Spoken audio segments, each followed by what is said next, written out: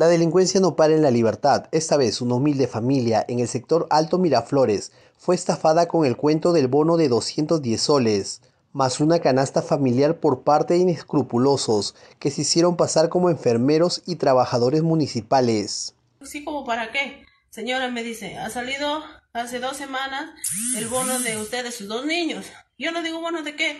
Del apoyo me dice de COVID-19. Ah, le digo, no lo sabía, le digo, como yo paro trabajando, no lo sabía. Sí me dice, pero ya lo sabe, vaya a recogerlo hoy día mismo, me dice, porque ya hace una semana que están dando eso.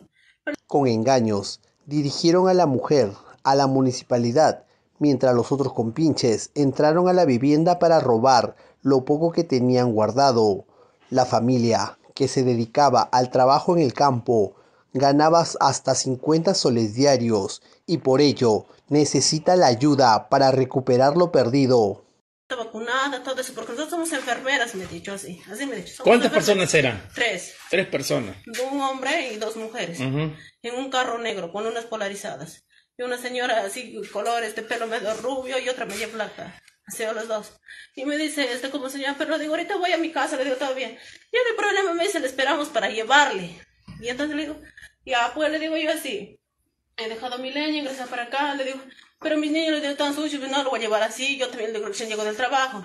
Por otro lado, pidieron ayuda a las autoridades correspondientes para que puedan dar más seguridad en la zona y sobre todo que avisen la modalidad de robo para que otras familias no pasen por lo que les sucedió.